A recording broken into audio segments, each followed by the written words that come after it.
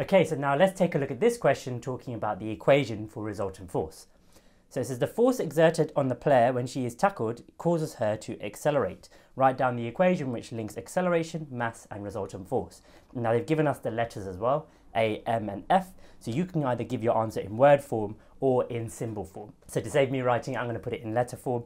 Resultant force, you've seen it before, it's in your formula sheet. You can remember it as FAM or F equals MA. So that's what I'm going to put for the first answer. Here, F equals MA. One quick mark. Now it says the player accelerates at 25 meters per second squared when a resultant force of 1800 newtons acts on her. Calculate the mass of the player.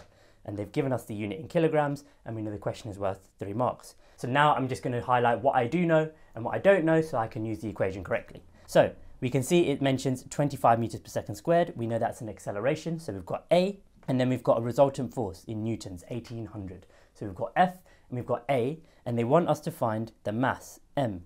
So if I put the equation we've just written above, I'll put that first, F equals MA. They want us to find the mass, so I'm going to rearrange this equation, and that gives me M equals F over A. And now simply I just substitute in the numbers that I've got in the question, so that's 1800 for the resultant force, divided by 25 for the acceleration, and that should give you a value of 72 kilograms. So I'll go ahead and put that in the answer box. There we go, three marks.